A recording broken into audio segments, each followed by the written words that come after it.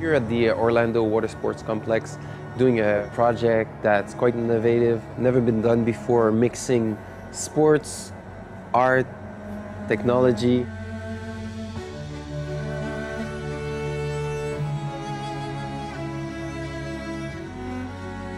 It's something that I don't think any of us have ever done before, and it's, it's something that could turn out really, really cool, and I'm excited to see um, the outcome. Not only are we doing something we haven't done before, we have three different athletes, Mike Dowdy, myself, and Dallas. It's going to be a cool variety.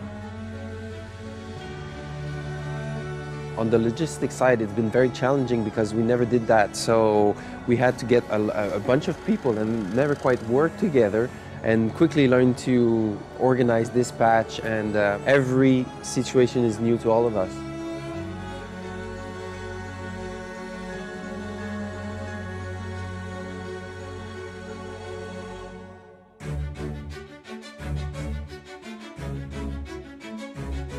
Get some good shots with dark backgrounds. Do you have some flash? Flash photos of him. You can actually see him like.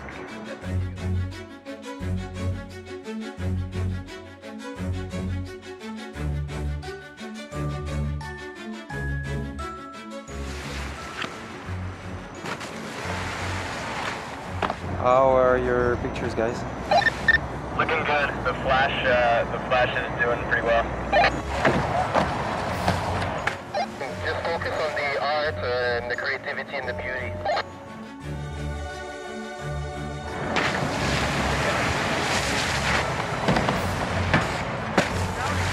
And that was definitely the, the highlight of the whole project was just like getting to ride with Adam and just having fun. Pretty much everything out there was just all me and Adam just goofing off and having fun, and that I think made the best pictures.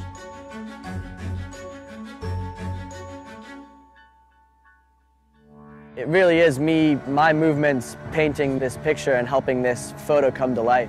Just want to thank, you know, Red Bull and Snap for putting all the hard time and work into this. I mean, without them, this project definitely would not have happened. I'm really uh, impressed by the athletes. They're so fluid in the water and they understand very naturally what we're trying to do here.